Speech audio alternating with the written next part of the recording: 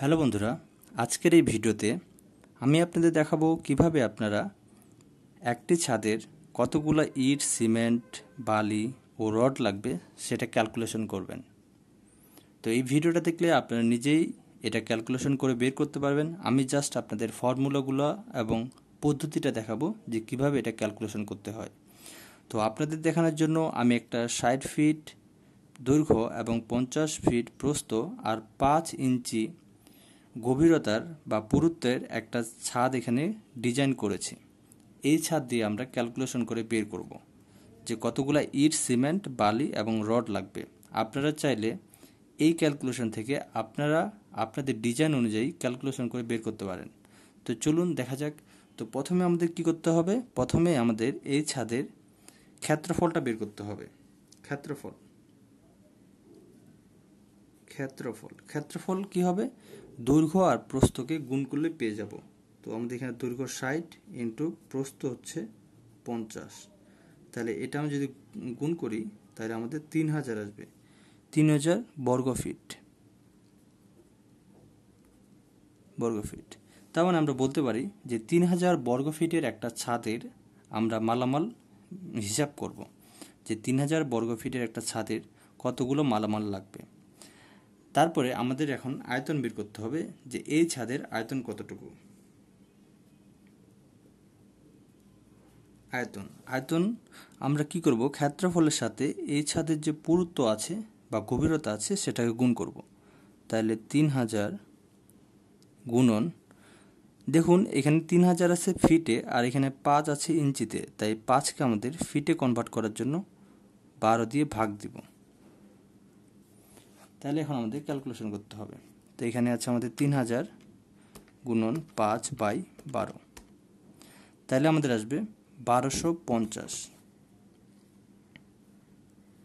বারোশো পঞ্চাশ ঘনফুট। ঘনফিট। ওকে। তাহলে এটা হবে আয়তন। তাহলে আমরা আয়তন পেয়ে গেলাম বারোশো পঞ্চাশ ঘনফিট। এখন এই আয়তন থেকে আচ্ছা এই বারোশো পঞ্চাশ ঘনফিট কিন্তু জুড়ে আমাদের কি আছে? ইট, সিমেন্ট আর বালি আছে। পুরো বারোশো পঞ্চাশ ঘনফিট জুড়ে। কিন্তু যখন আমি ইট, সিমেন্ট আর বালি বাজার থেকে কিনে আনব, তখন কিন্তু আমি এইভাবে জোড়া লাগানো অবস্থায় অথবা পেস্ট অবস্থায় আমরা পাবো না। তার জন্য কি আমাদের আলাদা আলাদা আলাদা আলাদা কিনতে হবে। তাহলে এই আয়তনটাকেও আমাকে ওয়ান পয়েন্ট ফাইভ দিয়ে গুণ করা লাগবে, কারণ এটা তো আমরা যে ভিজা অবস্থায় ঢালাই করি। কিন্তু আমরা ইট, সিমেন্ট, বালি কিনি শুকনো অবস্থায়। তাহলে শুকনো অবস্থায় আমার আয়তনটা দরকার। এই আয়তনটা কিন্তু আমাদের ভিজা আয়তন বের করলাম। তাহলে এখন আমাদের শুকনো আয়তন। শুকনো আয়তন বের করা দরকার। কারণ আমরা বাজার থেকে ইট, সিমেন্ট, বালি কিন্তু শুকনো অবস্থায় এবং আলাদা আলাদা আলাদা অবস্থায় ক্রয় করে থাকি। তাহলে এটাকে, এই ভিজা আয়তনকে যদি আমি শুকনো আয়তনে কনভার্ট করতে চাই, তাহলে ভিজা আয়তনের সাথে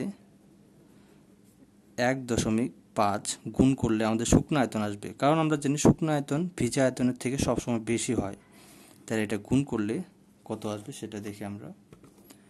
তাহলে বারোশো পঞ্চাশ গুণন এক দশমিক পাঁচ, তাহলে আসবে আঠারোশো পঁচাত্তর। আঠারোশো পঁচাত্তর ঘন ফিট এটা কিন্তু আমার শুকনো আয়তন চলে আসলো, ঠিক আছে? তো এখন এই শুকনো আয়তন থেকে আমাদের সিমেন্ট কতগুলো লাগবে, বালি কতগুলো লাগবে এবং খোয়া কতগুলো লাগবে সেটা বের করব। তো এই শুকনো আয়তন থেকে সিমেন্ট, বালি, খোয়া বের করার জন্য আমাকে জানতে হবে যে আমি এখানে কি অনুপাতে সিমেন্ট, বালি ও খোয়া ব্যবহার করেছি, ঠিক আছে? ধরুন আমরা এখানে ব্যবহার করেছিলাম, সাধারণত যেটা ব্যবহার করা হয় ছাদে, এক অনুপাত দুই অনুপাত চার one is to two is to four অথবা এক অনুপাত, দুই অনুপাত, চার অনুপাতে সাদ ঢালাই করা হয় সাধারণত। তার মানে এক অনুপাত, দুই অনুপাত, চার বলতে বোঝাচ্ছে প্রথমটা হচ্ছে সিমেন্ট। আমি যদি এক ব্যাগ সিমেন্ট দিই, তাহলে আমাকে একই পরিমাণে দুই ব্যাগ দেওয়ার লাগবে বালি এবং চার ব্যাগ খোয়া। আবার যদি অন্যভাবে বলি, তাহলে যদি আমি এক ঘন ফিট সিমেন্ট দিই, তাহলে আমাদের দুই ঘন ফিট দেওয়া লাগবে বালি এবং চার ঘন ফিট দেওয়া লাগবে খোয়া। ঠিক আছে? তো সেটাই হচ্ছে অনুপাত। প্রথমটা সিমেন্টের জন্য তারপর ওটা বালির জন্য এবং তারপর ওটা খোয়ার জন্য। তো এই অনুপাত যদি আমরা যোগ করি, যে টোটাল এখানে অনুপাত কত, তাহলে আসবে এক যোগ দুই যোগ চার। তাহলে হবে সাত। এই অনুপাতের যোগফল সাত, ঠিক আছে? এখন যে তিনটা ইউজ করলাম, তার অনুপাতের যোগফল সাত। এখন প্রথমে আমরা বের করব সিমেন্ট, ঠিক আছে? প্রথমে সিমেন্ট। সিমেন্ট কি, কীভাবে বের করব? যেহেতু এখানে অনুপাতের যোগফল আসছে সাত, তাহলে টোটাল যে আসছে, আমার আয়তনটা শুকনো আয়তন, সেই শুকনো আয়তনকে আঠারোশো পঁচাত্তরকে আমাদের ভাগ দিতে হবে এই যে অনুপাতটা যোগ করলাম সেই অনুপাত দিয়ে।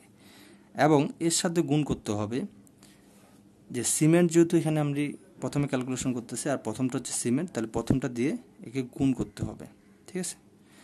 এবং তাহলে আমরা এখানে ক্যালকুলেশন করলেই পেয়ে যাব যে কত ঘনফুট সিমেন্ট লাগবে? তাহলে এখানে আমরা ক্যালকুলেশন করব আঠারোশো পঁচাত্তর ভাগ সাত গুণন এক। তাহলে আমাদের এখানে আসবে দুশো সাতষট্টি পয়েন্ট পঁচাশি। দুশো সাতষট্টি পয়েন্ট পঁচাশি ঘনফিট ঘনফিট আমাদের সিমেন্ট লাগবে। কিন্তু বাজারে যখন আমি সিমেন্ট কিনতে যাব, তখন তো আমরা ব্যাগে কিনবো। তাহলে দুইশো পঁচাশি, দুইশো সাতষট্টি পয়েন্ট পঁচাশি ঘনফিটকে যদি আমরা জিরো পয়েন্ট আট দিয়ে গুণ করে দিই, তাহলে কিন্তু আমরা এইটা পেয়ে যাব ব্যাগ, যে কয় ব্যাগ সিমেন্ট লাগবে। তাহলে এটার সাথে আমরা গুণ করব পয়েন্ট আট। তাহলে আমাদের যে দুইশো চোদ্দ দশমিক দুই আট ব্যাগ সিমেন্ট লাগবে। Bag cement. তার মানে হচ্ছে এই সারটি ঢালাই করার জন্য আমাদের দুইশো দুইশো চোদ্দ দশমিক দুই আট ব্যাগ সিমেন্ট লাগবে। সিমেন্টটা পেয়ে গেলাম। এখন আসব আমরা বালি। বালি বের করব ঠিক একইভাবে যে শুকনো আয়তনকে আঠারোশো পঁচাত্তরকে আমরা অনুপাতের যোগফল দিয়ে ভাগ করব সাত এবং এখানে যে বালির অনুপাত ছিল দুই সে দুই দিয়ে গুণ দেব। তাহলে আমাদের চলে আসবে। তো ঠিক ক্যালকুলেশন করে এখানে দুই দিয়ে গুণ দেব, তাহলে হবে পাঁচশো পঁয়ত্রিশ দশমিক একাত্তর। পাঁচশো পঁয়ত্রিশ দশমিক একাত্তর ঘনফিট অথবা সেফটি ঘনফিটকেই কিন্তু সেফটি বলে। ঘন ফিট পাঁচশো একাত্তর, পাঁচশো পঁয়ত্রিশ দশমিক একাত্তর ঘনফিট লাগবে বালি। তারপরে এখন আমরা বের করব যে খোয়া, ঠিক আছে? খোয়া খোয়া কতটুকু লাগবে? ঠিক খোয়া বের করার জন্য আমাদের যে শুকনো আয়তন আঠারোশো পঁচ আঠারোশো পঁচাত্তরকে আমরা ভাগ দিব, অনুপাতের যোগফল দিয়ে আবার গুণ দিব যে এখানে খোয়া বা ইটের অনুপাত কতটুকু ছিল? সেটা ছিল চার। এটা চার দিয়ে গুণ দেব। তাহলে চার দিলাম। তাহলে এখানে আসবে আমার এক হাজার একাত্তর পয়েন্ট চার দুই আট। এত? ঘনফিট। ঘনফিট লাগবে কি? খোয়া। তারপরে কথা হচ্ছে যে রড কতটুকু লাগবে? ঠিক আছে? রড কতটুকু লাগবে? এটা কিন্তু আমাদের আমরা এইভাবেই ক্যালকুলেশন করে বের করতে পারব না। রড বের করার জন্য আমাদের ডিজাইন দেখা লাগবে এবং রডের প্লেসমেন্ট দেখা লাগবে যে রড কি অবস্থায় আছে, কোথায় বাঁকানো হয়েছে, সবগুলো দেখা লাগবে। তবে আমরা একটা ধারণা করতে পারি আইডিয়া করতে পারি যে রড কতটুকু লাগবে। কীভাবে? আমরা এখানে রড লাগবে রড সাধারণত লাগে এই যতটুকু আমার এখানে আয়তন বের হবে, এই আয়তনকে আমরা এখানে লিখতে হবে রড রড লাগবে যতটুকু আয়তন বের হবে, বারোশো পঞ্চাশ। একে যদি আমরা এক বাই একশো দিয়ে গুণ দিই, তাহলে আমাদের রডের কিন্তু আয়তন পেয়ে যাব। কারণ সাদে এক পার্সেন্ট রড ব্যবহার করা হয়। সাদে এক পার্সেন্ট রড ব্যবহার করা হয়। তো এটা একটা আইডিয়াতে পাওয়া যাবে, আমরা বুঝতে পারব যে কতগুলো রড লাগবে।